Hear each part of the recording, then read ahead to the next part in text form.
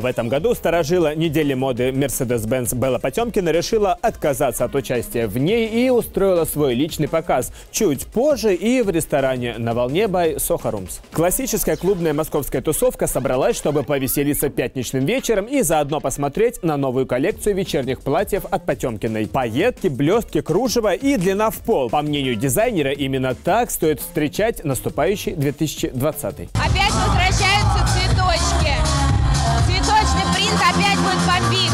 Впервые в качестве модели на импровизированный подиум вышла блогер-миллионник Карина Кросс. Инстадива открывала и закрывала показ. Быть моделью – это, не знаю, мне кажется, это, наверное, призвание, потому что нужно показывать вещь, а не себя. А все-таки блогер – это человек, который через свою призму показывает жизнь, юмор. Поэтому для меня блогинг, конечно, ближе. Но, кажется, первым опытом Карины довольны остались все, особенно Белла. Ведь благодаря инстаблогеру новую коллекцию дизайнера увидели как минимум 5 миллионов подписчиков Кросс.